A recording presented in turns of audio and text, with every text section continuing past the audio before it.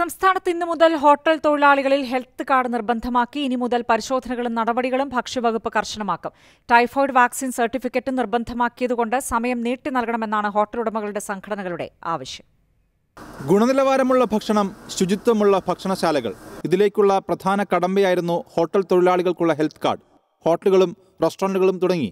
എല്ലാ ഭക്ഷണശാലകൾക്കും health card ഉറപ്പാക്കാൻ സർക്കാർ അനുവദിച്ച സമയം ഇന്നലെ അവസാനിച്ചിരുന്നു. പിന്നെ ഈ ആൾക്കാർ മാറി മാറി വരുമ്പോഴുള്ള പ്രശ്നങ്ങൾ മാത്രമേ ഉള്ളൂ. ഇപ്പോൾ ചില ആൾക്കാർ ഒരു മാസം ഉണ്ടാവും പിന്നെ പോവും. തിരിച്ച് അങ്ങനെ മാറിപ്പോയുള്ള പ്രശ്നങ്ങൾ മാത്രമേ ഉള്ളൂ. ഇപ്പം നമ്മളെല്ലാവരും ആൾറെഡി എല്ലാവർക്കും ഒരു എടുത്തിട്ടുണ്ട്. കസ്റ്റമർ ചോദിച്ചാലും നമുക്ക് കാണിക്കാനുള്ളതേ ഉള്ളൂ. വലിയ ഹോട്ടലുകൾ ഭൂരിഭാഗവും തൊഴിലാളികൾക്ക് ഹെൽത്ത് കാർഡ് ഉറപ്പാക്കിയിട്ടുണ്ട്. എന്നാൽ ഗ്രാമങ്ങളിലടക്കം ചെറിയ ഹോട്ടലുകളിൽ ഇത് പൂർണമായിട്ടില്ല. ഭക്ഷ്യസ്ഥാപനങ്ങളുടെയും സംഘടനകളുടെയും അഭ്യർത്ഥന മാനിച്ച് നിരവധി തവണ ഹെൽത്ത് കാർഡ് എടുക്കാൻ സാവകാശം നൽകിയിരുന്നു. എന്നാൽ ഇനിയും സമയം വേണമെന്നാണ് ഹോട്ടൽ സംഘടനകളുടെ ആവശ്യം. ആരോഗ്യ പരിശോധനയ്ക്കൊപ്പം ടൈഫോയിഡ് വാക്സിൻ സർട്ടിഫിക്കറ്റ് കൂടി നിർബന്ധമാക്കിയതാണ് ഹോട്ടലുകാർക്ക് വെല്ലുവിളി. ഫസ്റ്റ് തന്നെ ഈ ടൈഫോയിഡ് മറ്റ് വാക്സിൻ നിർമ്മാണം എല്ലാം കുറച്ച് ലളിതമാക്കി ആദ്യം കൊണ്ടുവരിക.